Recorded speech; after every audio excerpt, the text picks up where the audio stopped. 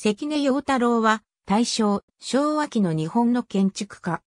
初期においては有限としている風の作品、後には慶応閣、成績記念館など、ドイツ表現主義の要素も取り入れたモダンな作品を設計している。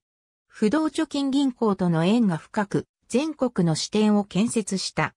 函館支店の建設を機にして、函館とのゆかりができ、二度の函館大火では、被害調査にあたり、復興建築も手掛けた。第二次世界大戦後は主に埼玉県内の学校建築を設計した。関根陽太郎は1889年10月22日に埼玉県秩父市にて生まれ、秩父の街道沿いで旗子を営む母の実家で育つ。1904年、秩父大宮神城高等小学校を卒業し、秩父郡立農学校に入学。1907年に秩父郡立農学校を卒業し、神田の生息学校に入学し英語を学ぶ。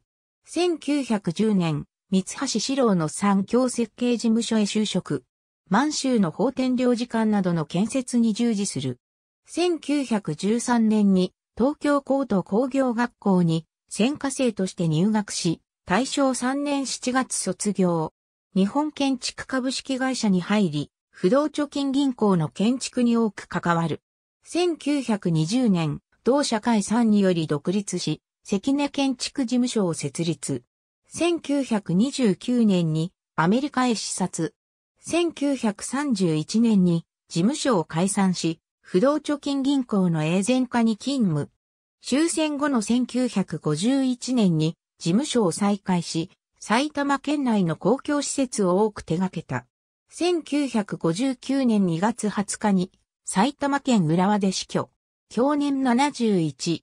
旧村林商店旧不動貯金銀行七条、支店旧不動貯金銀行下関支店以下の経歴は主に関根陽太郎店による。ありがとうございます。